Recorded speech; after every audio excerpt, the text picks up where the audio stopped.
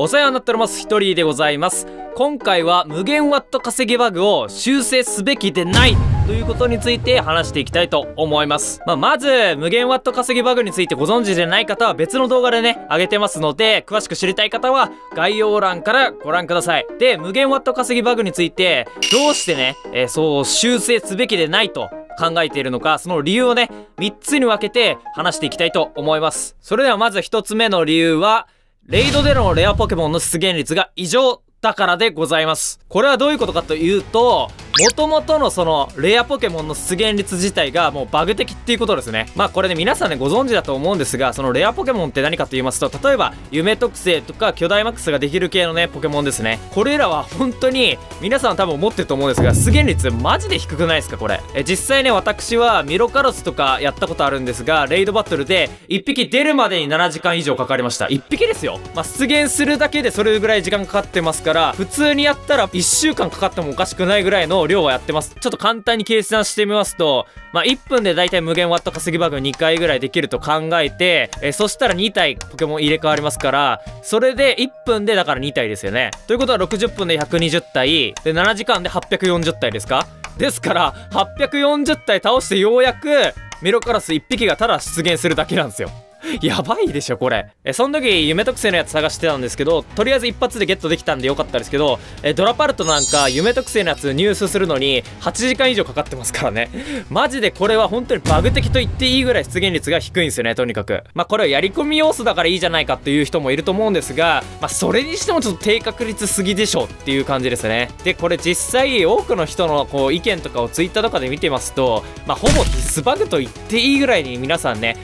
ほとんどの人が使ってます。まあ、それだけね、出現率が超異常だっていうことですね。えですから、まあもちろん修正すべきではないだろうと。考えるわけでございます。で、二つ目のバグを修正すべきでない理由は、育成が楽で初心者が参入しやすいからでございます。実際私が実感しているんですが、私めちゃくちゃ初心者なんですが、今回のね、このバグがあるおかげで、色々ね、育成とかもしやすくて、圧倒的にね、そのオンライン対戦がしやすいんじゃないかなと思っております。実際具体的な例で言えば、例えばポケジョブとかですね、これは無限ワットバグを利用することによって、努力値ぶりが一気にできて非常に簡単でして、本当にとっつきやすいですよね。で、夢特性とかもまあゲットしやすいというか、元々の出現率が異常なんで、まあこれでもゲットできない場合あるんですけど、とりあえずゲットしやすくなってると。で、さらに言えばそのバグのおかげで、高校対地のメタモンもね、非常に入手しやすくなってんで、やはりね、相当育成においては楽になってますね。オンライン対戦とかもしやすいんじゃないかなと思います。ですので私みたいな初心者には、こういうバグがね、非常にありがたい存在なので、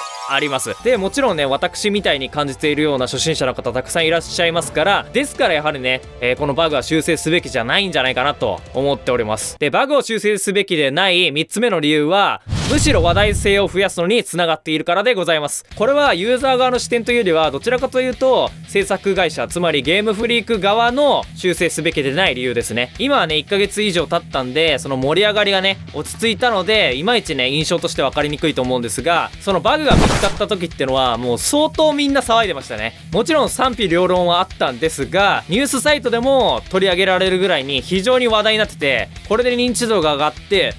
俺もやりたい。私もやりたい。わしゃもやりたいわ。という感じでみんなが気になってそれでどんどんユーザーが増えるっていうね感じでゲームフリーク側にこうめちゃくちゃねメリットがあるんじゃないかなと思っております。で、実際過去にバグで話題性を獲得した実例もあるんですよね。それは YouTube のゲームフリークの公式チャンネルで、え見ていただきたいんですが、そこで実際にゲームフリークの人がちゃんとそのことについて話しているんです。どういう内容かと言いますと、初代のポケモンにおいて、ミュウがまずプログラムしていたんですが、それはですね、ユーザーに見つからないようにプログラムしていたんです。ただユーザーがバグでそのミュウをね、引っ張り出してゲットできるようになってしまって、それでもう社会現象となるぐらい話題になったんですね。実際社会現象になったかっていうのはちょっとわからないんですが、その動画内では社会現象とまで言ってましたね。それで実際に20名限定のミュウの配布をね、行うようになって、それでめちゃくちゃ話題になったらしいですね。この20名限定というのが、いかにもね、昔のアナログっぽい感じがしますけど、まあ、そんなこともあったんですよね。で、実際ゲームフリークの人は、そのバグがあったおかげで、こう話題になって、結果的には良かった。みたいな感じの言い方をしてましてね。今回の無限ワットバグの例はそこまでね、話題になったわけではないと思いますけど、まあ、ユーザーもそれなりにね、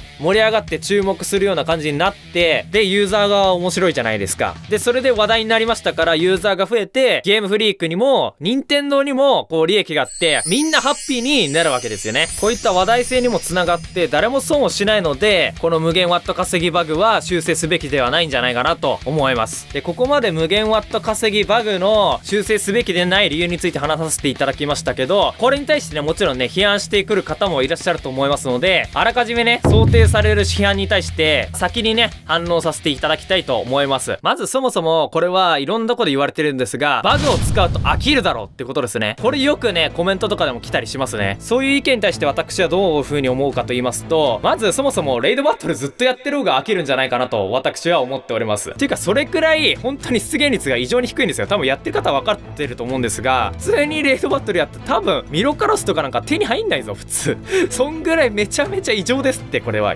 やっぱり。ですので、実際バグ使ったとて、達成感は普通にあるんですよね、やっぱり。むしろ、このバグがあるおかげで、このやり込み要素とかね続けられてるっていう感じもありますよね。多分これまともにやったら多分続けられないと思いますよ普通の人だったら。あとポケモンのやり込み要素として色違いとかをこう集めるのはあると思うんですがこちらがね割と普通でそこに対してのバグってのはあんまりないと思いますから別にやり込み要素がなくなってるってわけでもないので飽きるってことはねないんじゃないかなと私は考えております。で次のよくある反論は真面目にやってる人をバカを見るんではないか。ふざけんじゃねえよてめえ。これっていうのがあるんですよよく。まあこれはねはっきり言ってしまえばバカを見ると思いますよその通り。ただこれ先ほども言いましたけどこれ真面目にやる方が多分無理ですよ。えできるんですか？これ逆に。普通に。普通のレイドバトルだけでミロカロスの夢特性のやつ捕まえた人いるんですかこれ。先ほども軽く触れましたが数百体倒さない限りは多分出てこないですよ。もちろん運なので偶然ゲットできる人もいると思いますけどもう鬼ほど確率低いですからね。ですのでまあ不可能とは言いませんけど現実的にね仕事とかやってて社会人とかだったらなおさら不可能ですねほぼ。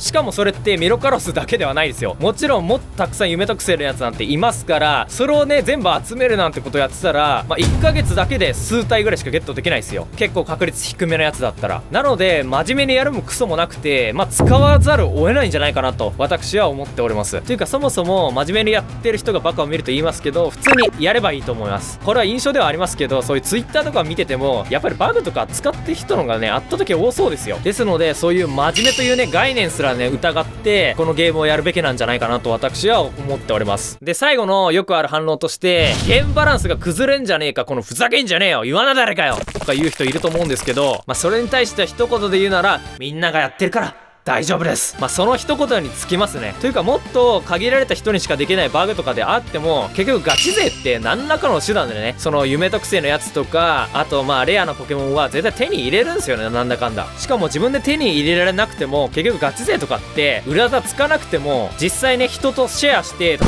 夢特性のやつだったらそれの卵をねもらったりしてそうすればまあ実質コピーできてますし結局バグを使うか使わないかってことはあんま重要じゃなくてほぼ無意味なんじゃないかなと思います。その議論自体が。ですのでまあゲームバランスがねめっちゃ崩れるかっつったらそうでもないんじゃないかなと思います。なんだかんだそのバグを使っても結構大変ですからねそのポケモン入手するのも、まあ、もちろんね私の意見は一個人のまあ個人的なね意見ですので他にもねこんな意見あるよっていう方いましたらぜひコメントしていただけると幸いです。ということで今回の動画はこれにて終了とさせていただきたいと思います。それでは最後までご視聴いただきありがとうございました。それではバイビー。